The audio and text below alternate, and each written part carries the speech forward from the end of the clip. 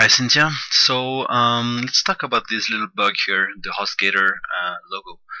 Uh, actually, I thought at the beginning the problem was from the auto-publish plugin on on on Facebook uh, on WordPress that you had, but uh, um, after having looked at this, you didn't use the auto-publish system. Um, what you did here is just you created a post on Facebook and you shared a link of your website, which is gutsandgrit.com.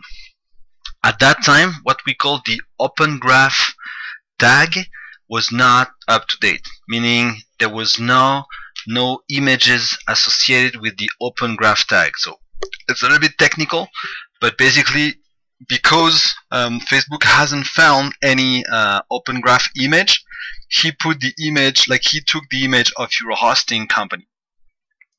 So now you'll see that if we create a new post, so let's try this. Um, I'm gonna post new stuff here, uh, test, and I'm gonna put uh, guts and grit here.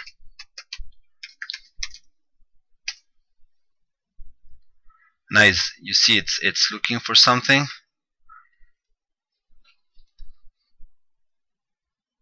And now you got your picture in there.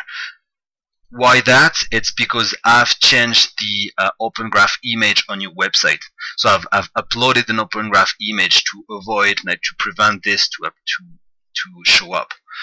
Now the thing is, you already have some people who liked it, and you have people who um, who are rich from this link. So I don't know. What you can do is you can copy paste all of this, click there, then you uh, delete uh, the post, and you just can recreate a new one because for some reason even if uh, the open graph has been updated the, the thumbnail here of the post uh, won't won't update uh, for some reason. I don't know why.